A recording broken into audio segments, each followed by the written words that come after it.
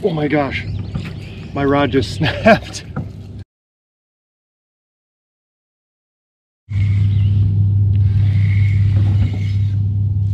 See what we got here.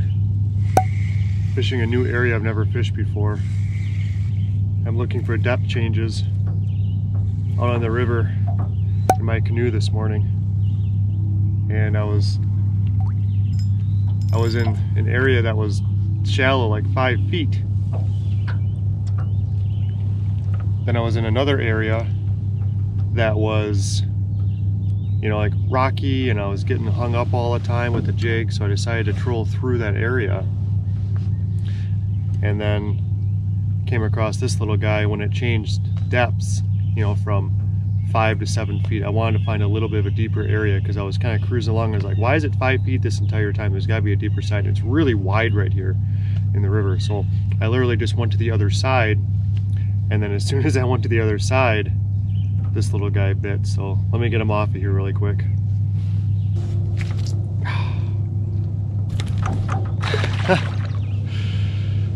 That's a feisty little 14 inch walleye. Let me tell you, I was not happy to be in the canoe here.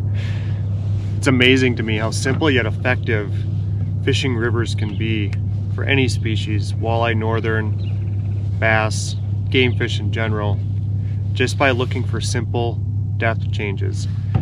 And when I make these river videos, I feel kind of silly sometimes because every river is so different. Every stretch of the river is very different. And so it's hard for me to explain what you need to do on your river or what I think you should do on your river in order to catch fish. But I do know one thing about fishing for rivers and that's change is where you're going to find fish. If it's the same the entire time, kind of like a desert underneath the water, you're not going to find fish there. If it's different, if sudden change happens, you're probably going to find some fish there, like an edge, drop off, some kind of reef, underground, underwater point, hump, hole. The idea here is to cover as much water as I can today. I got up super early. I purposely wanted to come out here when the water was calm, not a lot of wind, and just enjoy the morning kind of exploring new territory, finding new places to go where I can hook into some decent fish. So right now we're looking at 6.8 feet, 7.2, 7.4. I was fishing this shoreline over here and I noticed that was five feet the entire time, basically. I moved out here to the right over this way and currently where I'm at now is 6.7 and then I kind of slid over this way here. I wasn't even going parallel with the shore. I was kind of going at an angle like I am right now. You can see here it's 7.9. As soon as I got to that deeper water is when that walleye hit my bait. Got something else here again. This time the depth went up to four feet instead of going down.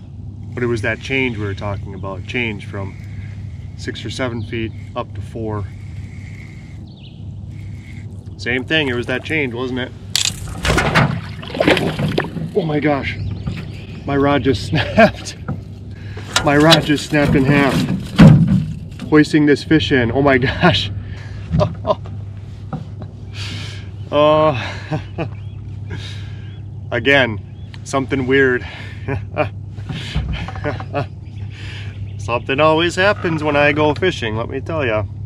If you haven't seen a couple videos ago, my line break broke and I was reeling in a fish hand over hand. That's what happened that trip. Yeah, this is just a clear break. Let me let me fix this mess right now. Get this fish, uh, the hooks out of the fish's mouth, and I'll show you. I'll show you this. You're probably wondering why I'm not mad right now, but it was a, it was a ooh. I'll be with you in a second. So we've got another 14 inch walleye right here. And it hit right where that change was. Ooh, another feisty one. Right where that change happened, that's where that one struck. And I noticed this section of the river over here kind of goes up to a flats a little bit. And where I was fishing on the left side of it, a little bit of a flats over there. Can kind of tell because the river bends out, typically goes up. I can see an exposed rock. Um, the water is moving slightly faster over the top of it. At least it appears that way because it's more shallow. So I was like, I'm going to kind of go over there, just fish that edge a little bit. And I was noticing on my locator, I hear it says five, but back there where I was, it was like six. And it was six forever. I was like, I'm going to find a little bit of change to see if I can get a walleye or bass or northern to bite. I turn my trolling motor, turn this way, I approach that area over there that's more shallow where we're heading now. And that would be, you know, a, a flats or whatever you want to call it where it goes up. Because the river slightly bends like this. So as you can imagine, you know, if there was no water here, the ground would kind of come up like this and then go down where the channel probably is over in this direction over there. And right when I got to like, I think it was 4.7, that's when that fish hit. And I don't know about you, but when you're trolling on a river system where there are these changes and you're looking for changes, I'm staring at the locator almost the entire time. I don't need to watch my bait. I'm not working a top water. I'm not watching a bobber. I'm, I'm feeling for that fish to strike as I'm trolling through here. And you don't have to troll. You can find these areas and you can cast as well. I just want to cover a lot of water this morning. Like I said, I'm exploring a, a, brand new area to me. I've only driven through here. I've never actually stopped and fished this or trolled through even. I've never wet a line in this area. So it's encouraging to find other areas, new areas that you can fish. So this was a free rod given to me. It's very old. By old, I mean, I don't know. I, I don't even know how old it is. It's it's it's definitely not new. It's a rod combo eight pound tests, six foot six. I'm just using it because for trolling, in most cases, you don't need expensive equipment, especially for this kind of trolling. And it was a combo, caught a lot of nice fish on here. As a matter of fact, the biggest fish I've ever, freshwater fish I've ever caught in my life was on this rod. Which is funny that when I hoisted that little walleye into the canoe, that it broke. Maybe it was just, it was the straw that broke the camel's back. It broke kind of toward the tip.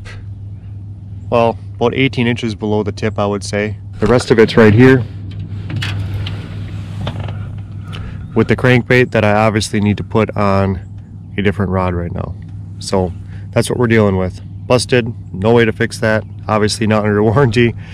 Rods like this, it's fairly cheap rod to begin with. I believe it's a Mitchell rod, so nothing fancy. Had a nice hard hit. Trolling right in the middle between some rocks but the thing just smacked this bait. It's funny because there's people trolling in front of me and they're like 50 yards in front of me watching me right now.